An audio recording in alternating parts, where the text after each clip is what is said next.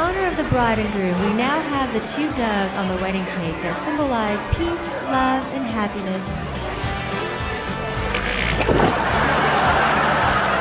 We now have the two doves on the wedding cake that symbolize peace, love, and happiness.